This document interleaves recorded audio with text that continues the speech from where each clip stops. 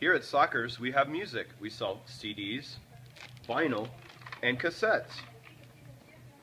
Don't forget, we also sell movies like DVDs, VHS, and Blu-ray. We also have games, both modern and vintage, and consoles too.